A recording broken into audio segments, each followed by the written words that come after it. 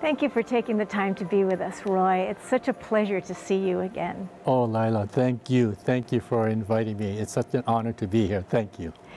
You know, in this time of joyful season, uh, that's my feeling about you. You bring joy wherever you go as a teacher, as a performer. How did you get started playing ukulele?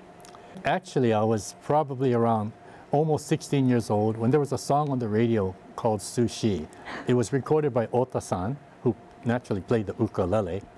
And it's hard to explain, but I, I just was gravitated to that song so much.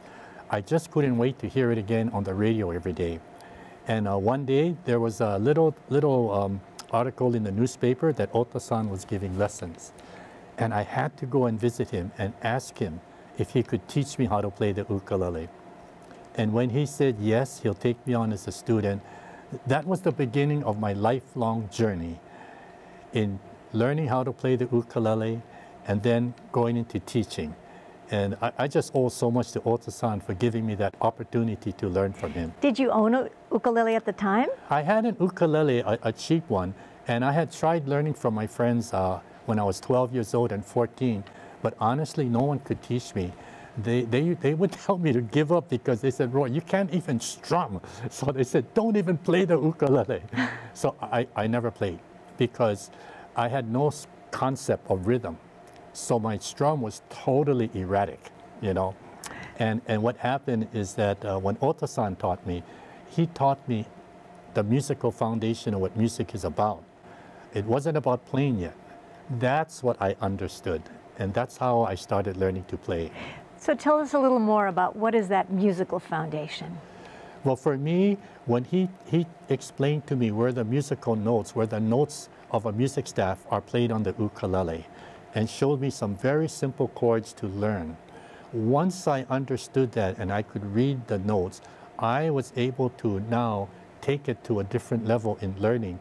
And it, it didn't matter what type of music sheet he gave me in the future after that. It, it could have been motion picture themes, it could be jazz, Latin. I was able to comprehend and figure it out because I realized through the years and I started teaching that there was a really definite link between math and music, you know, and that made it easy for me since the one thing that that was easy for me was mathematics, you know. So now your devotion is passing on that joy. Oh yes, uh, when I when I had the opportunity to teach at, at first it was just uh, some adults, but my passion was children. I always loved children, and so once children started coming to me, that that brought me just total joy in teaching them to play because you would see the smiles on their faces and how much they enjoyed playing. It was like it was opening a whole new world for all these children and it's just started to grow. And as, uh, I don't know if you remember a group called the Termites, way back then, there's four little boys that I taught to play. We would play at the basketball games and all over.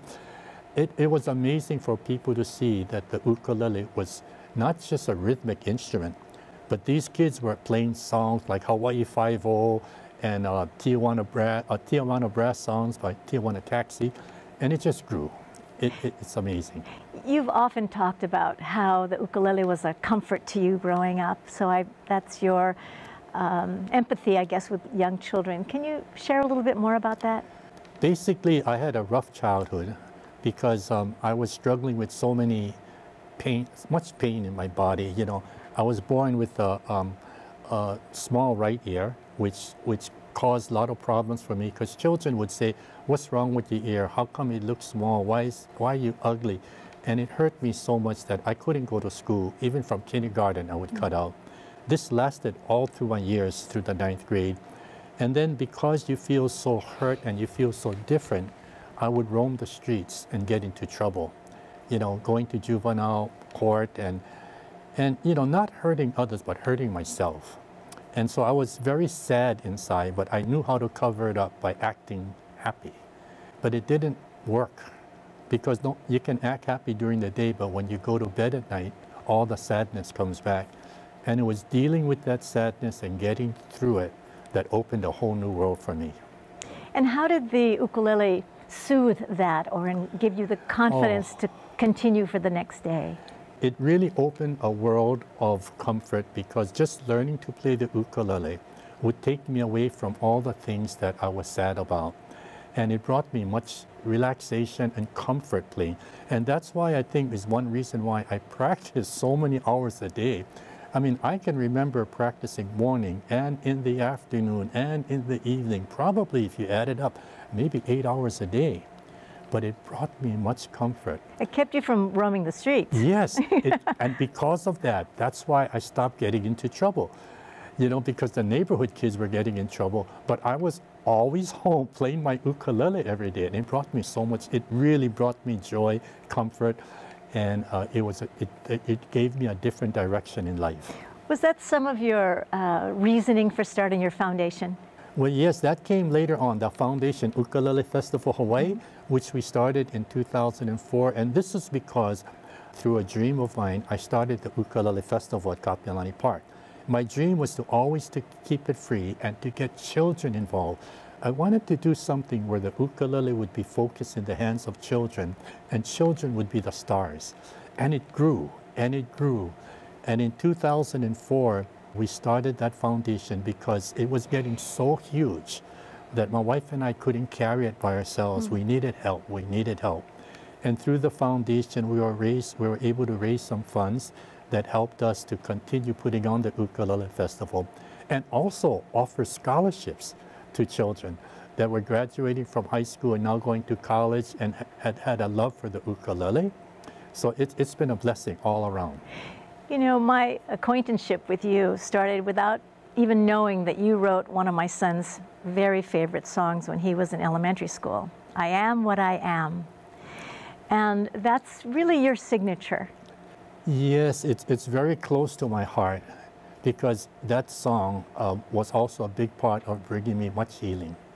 Yeah, that song. It was, I remember too, it was probably the year 1970 when I was sitting in my backyard and still not, not totally feeling good about myself. I started strumming, which I never do, by the way. I'm always picking.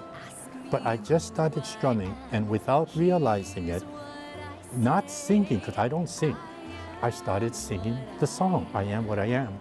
And it stunned and shocked me.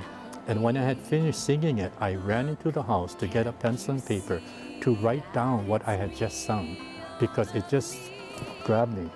And to think, um, because I already knew how to write music, I wrote it out and sent it into Library of Congress to, to uh, register that song. And within, I think, uh, two or three years, the elementary school system asked if they could put that song and teach it to all the children. And it became a very um, familiar song to children growing up in the 70s. And 80s and 90s. And, 80s and, 90s, and yes. even now. yes. Um, and you know, and the words, I am what I am, I'll be what I'll be. Look, can't you see that it's me, all of me?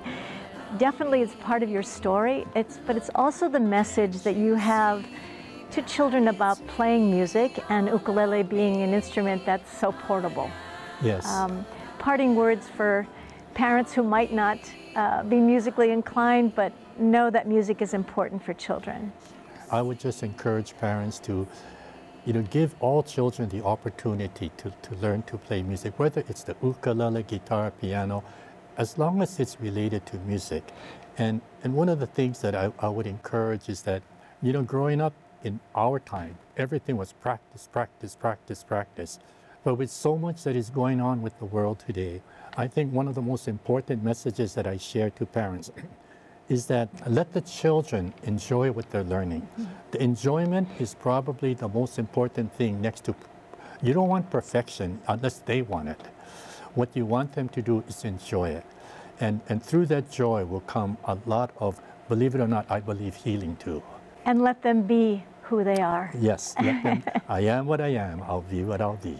Look, you see? Yes, that is me. Yes. Well, thank you so much for spending the time and reminding us, especially during this time, in this happy season, that the, the joy that we have in the world really comes from ourselves. Thank you for having me here.